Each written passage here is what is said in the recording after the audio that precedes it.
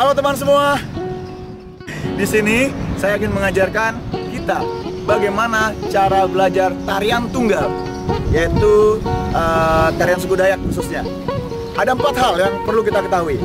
Yang pertama adalah gerakan tangan, yang kedua yaitu bahu, yang ketiga kepala, dan yang keempat adalah mimik muka, mata,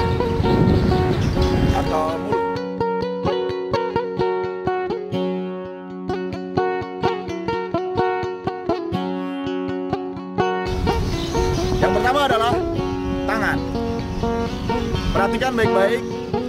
Teman-teman boleh mengikuti. Digenggam. Putar.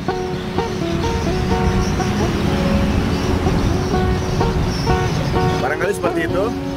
Jadi bisa diputar seperti ini.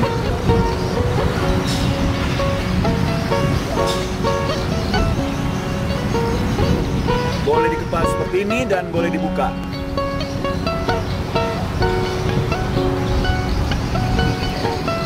Yang kedua yaitu bahu. Perhatikan.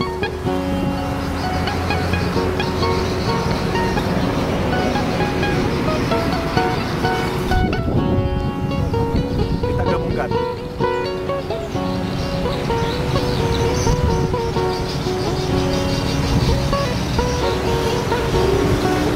Oke, jadi penting bahu dimainkan untuk menselaraskan putaran tangan. Yang ketiga adalah bagian leher. Perhatikan baik-baik.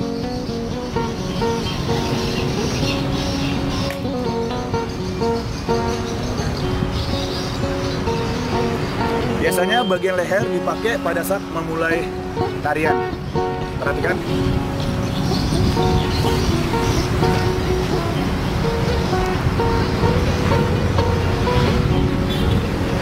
Seperti itu. Muka. Mimik muka ada dua. Yang pertama adalah mata dan mulut bibir ya. Perhatikan.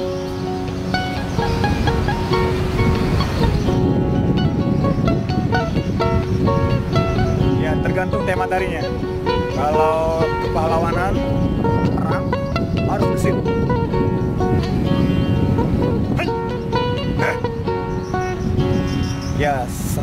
sambil mengeluarkan suara. Kalau lembut bisa seperti ini.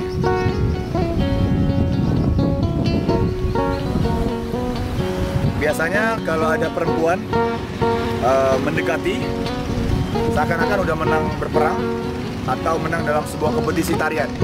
Jadi mendekati perempuan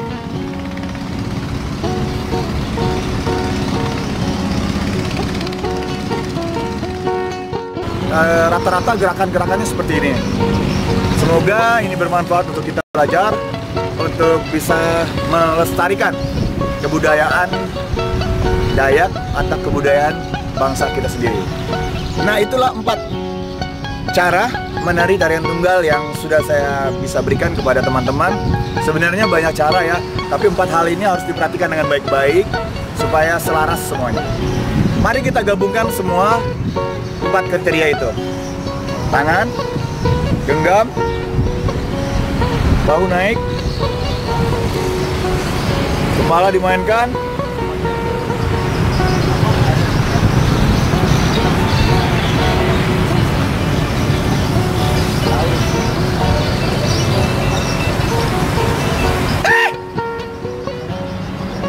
Ya biasanya ada suara pekikan Wakikan menandakan keberanian, ya, kepahlawanan seorang pria. Oke teman-teman, ada empat kriteria yang sudah saya berikan. Semoga bermanfaat untuk kita. Sebenarnya sih masih ada yang bagian bawah yaitu kaki, uh, lutut atau tumit. Berikutnya saya akan sampaikan secepatnya untuk kita bisa belajar bersama. Dan semoga saya bisa melihat video teman-teman ke depannya. Demikian dari saya, salam budaya.